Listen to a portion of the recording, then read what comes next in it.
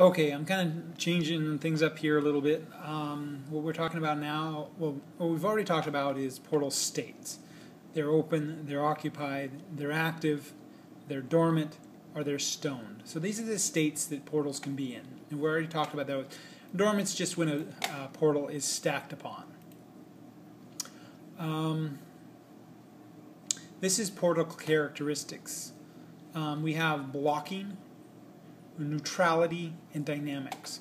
And what I mean by this is all portals are the same. There's no difference between any portal. So the black player can use the piece, the white player can use the piece. They are neutral. They don't have a preference. That is by design. Now they are blocking. Now, this isn't a good example, but this is. The pawn can't go on top of the portal. It has to attack. This is the term I sometimes use attack activated. So all the moves that a portal makes are attack moves.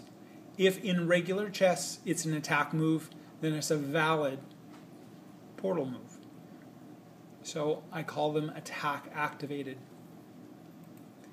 Now, they're blocking, they're neutral, and they're dynamic. And dynamic, as I've said again, is simply they move to where the player was that took the piece. So it's important to realize, or just one of the characteristics is it blocks and it unblocks. So if there was a piece here next to the pawn, if the pawn were here, it could then move there. So it no longer was blocking. That makes sense. Or if the bishop, or if the uh, rook is available, it can go down the rank or file, whatever that is, rank and file. I always get those mixed up.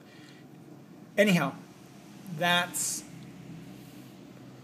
what we're talking about the basics of the characteristics of portals. Okay, what they do. And this is deeply a part of strategy. And that's why I pointed it out right away.